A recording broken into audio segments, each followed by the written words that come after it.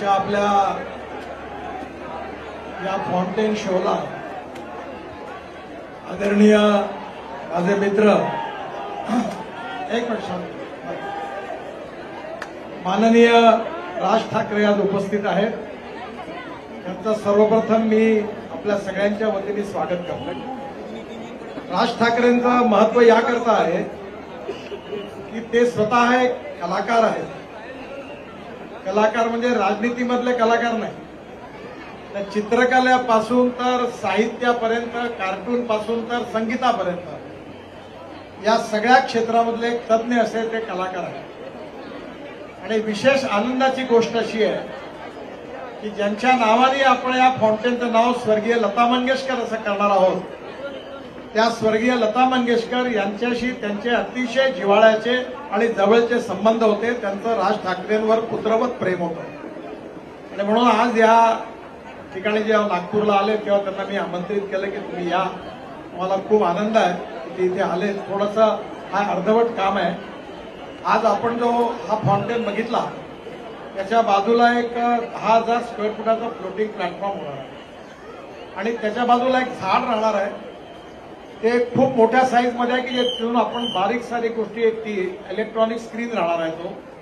आणि इथे म्युझिकपासून तर कुठलेही कार्यक्रम केले तर ते सगळे लोकांना आनंद घेता येईल. या सगळ्या गॅलरीमध्ये आम्ही आता खुर्च्यांचा ऑर्डर दिलेला आहे. आणि साधारणतः तीन हजार लोक खुर्च्यांवर आणि दोन हजार लोक खाली खुर्च्यांवर बसू शकतील अशी व्यवस्था आहे. याच्या स- तलावाच्या मध्यभागी ऐंशी हजार स्क्वेअर फुटाचं सोलर रूप टॉप सोलर असं एक मोठं रेस्टॉरंट होणार आहे. तिथे बोटीतून जाता येणार आहे. आणि नेमकं याच्या मागे एक बिल्डिंग बनते आहे. चार मजली बनली आहे. ती अकरा मजली आहे. त्यात अकराशे गाड्यांचं पार्किंग आहे. आणि तिसऱ्या मजल्यापासून तीस तीस हजार स्क्वेअर फूट असे फूड मॉल तिथे गरीब माणसाला स्वस्तामध्ये पावभाजी आणि भेळपुरी खाता येईल. दहाव्या मजल्यावर चार मल्टिप्लेक्स आहे आणि अकराव्या मजल्यावर रिव्हॉल्विंग रेस्टॉरंट त्याचबरोबर जो तेलंगडी तलाव आहे त्याच्यासमोर सातशे गाड्यांचा पार्किंग आणि तिथून डायरेक्ट म्युझिकल फॉन्टेनला येण्याची सोय होणार आहे. आणि त्या तलावाला आम्ही लोटस गार्डन बनवणार आहे. सध्या साडे नऊशे कमळाच्या जाती एकत्रित केलेल्या आणि याच्या एक्झॅक्टली पलीकडे एक बॉटनिकल गार्डन आहे. तिथे जगातलं जसं बुचर्ड गार्डन तुम्ही कॅनडामध्ये व्हॅन्कोरला बघितलं असेल तिथून प्रेरणा घेऊन तिथे आम्ही आता साडेपाच हजार गुलाबाच्या जाती एकत्रित केलेल्या आहेत. आणि मोठा परिसर आहे तो. त्या ठिकाणी एक मोठं जगातलं जागतिक दर्जाचं फ्लॉवर गार्डन होणार आहे. हे जे फाउंटेन आहे फ्लोटिंग याच्यावर साठ मीटर पर्यंत जाणारं जगातलं पहिलं फाउंटेन आहे. याचे आर्किटेक्ट फ्रान्सचे आहेत. याचे पंप टर्कीमधले आहेत. आणि याच्याकरता संगीत ए आर रेहमान साहेबांनी दिलेलं आहे. आणि याचं जे विशेषतः कॉमेंट्री आहे ती इंग्लिशमध्ये अमिताभ बच्चन यांची होती आज. हिंदीमध्ये गुलजार साहेबांची आणि मराठीत नाना पाटेकरांची.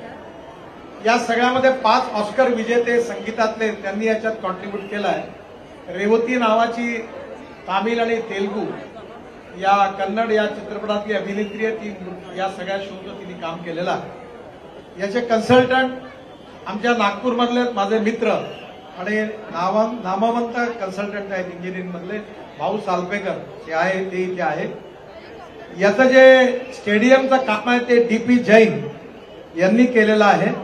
आणि आता हे जे काही काम सुरू आहे फाउंटनचं हे आपल्या नागपुरातीलच कॉन्ट्रॅक्टर जयंतराव खडक्का या समोर आहे. ते टाळ्या वाजवा एक जोरात सगळ्यांकरता यांनी हे काम केलेलं आहे. आणि अल्फॉन्स तिथे आहेत. हे पण फार जागतिक दर्जाचे फोटोग्राफर आहेत. साऊथ इंडियामधले आहेत. आणि या सगळ्यांनी खूप मोठं योगदान दिलेलं आहे मेहनत घेतलेली आहे. आज जी गाणी आपण ऐकली ती नवीन होती. पण ती वेगवेगळ्या प्रकारच्या गाण्यांवर आपण या पाण्याचं नृत्याचं हे केलेलं आहे सॉफ्टवेअर डेव्हलप केलेलं आहे. आणि आता आपण एवढ्या मोठ्या संख्येने येतात फक्त एकच विनंती माझी आपल्या सगळ्यांना की ज्यांनी एकदा शो बघितला ते पुन्हा येऊ नका. कारण आता आम्हाला हे अनकंट्रोल झालेलं आहे नाही तर बंद करावं लागेल कार्यक्रम. किंवा आपण सहकार्य करा आणि माझी खासदार सांस्कृतिक महोत्सवाच्या पदाधिकाऱ्यांना विनंती आहे की आता थंडी पडायला सुरुवात होणार आहे. त्यामुळे सातच्या ऐवजी साडेसहाला शो करून रोज तीन शो करता आले तर बघा म्हणजे आपल्या सगळ्या लोकांना जास्तीत जास्त संख्येने हे बघता येईल. आपण सगळ्यांनी खूप चांगला रिस्पॉन्स दिला. आपल्या सगळ्यांचं समर्थन आपल्या सगळ्यांची शक्ती ह्याची याच्याचमुळे आम्ही हे काम करू शकलो. त्या सगळ्या जनतेला मी पुन्हा एकदा अभिनंदन करतो आणि अभिवादन करतो. खूप खूप धन्यवाद. आणि राज ठाकरे एक कलाकार आहेत. आणि ते इथे आले आणि त्यांनी बघितलं कारण कलेच्या क्षेत्रातलं त्यांचं स्थान मोठं आहे. त्यांनी नक्कीच याबद्दल आपल्याला मार्गदर्शन करावं अशी त्यांना विनंती छत्रपतींचा विचार म्हणजे